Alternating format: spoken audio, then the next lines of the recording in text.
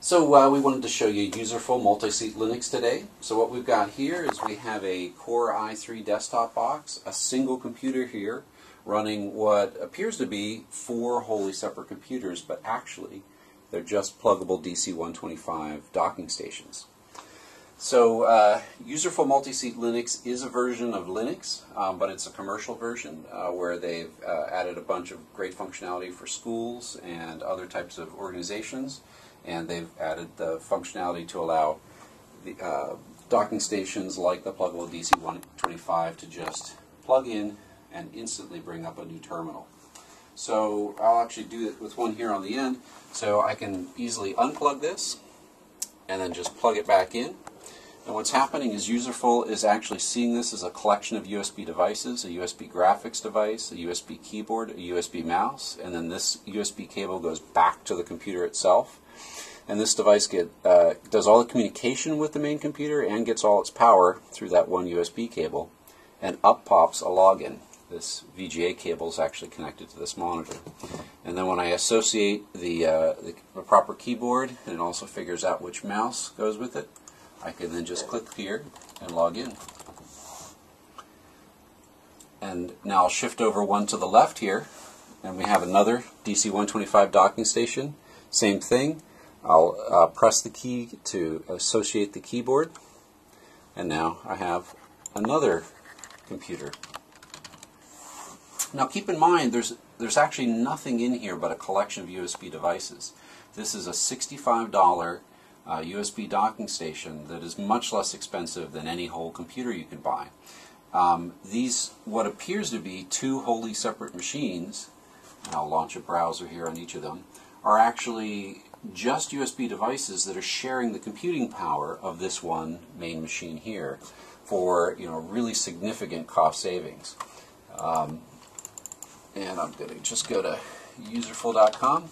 You know, and so you know, kind of for web browsing and for applications, and even for light video, um, it's a great solution. For heavy video, it's not a good solution because uh, ultimately, especially as you get up to you know, five or ten uh, USB stations sharing one computer, um, USB becomes your limitation. Um, but USB is fortunately uh, able to handle quite a lot. So I can drag a window around and you can see that it's really quite responsive. Um, this isn't a big browser window, but I can scroll. It's quite fast.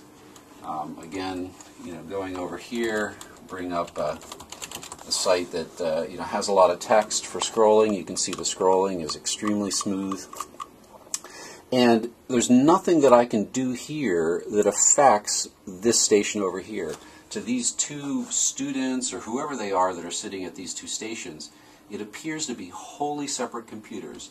They, and it's because Linux is a true multi-user operating system and user, Userful has built on that. So everybody gets their own files, their own permissions. Um, as far as these users know, they have their own computer, even though in fact they're sharing a common one.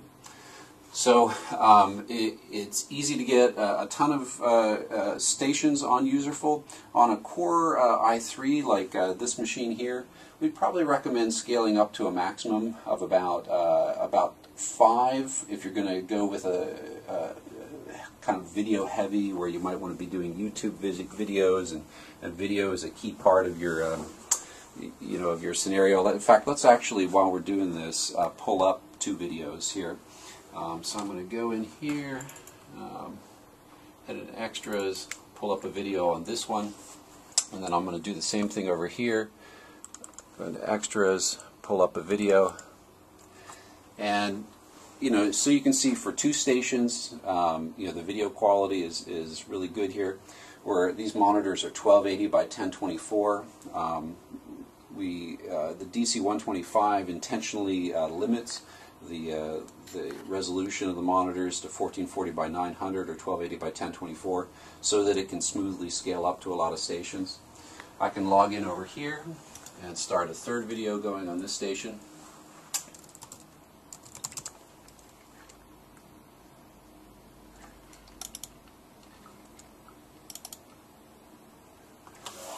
And you can see all three videos are going simultaneously and you might notice just barely a reduction in frame rate right now but really not that much already with three so uh, So on this kind of core i3, you know, certainly five stations where you're kind of having student quality video is no problem.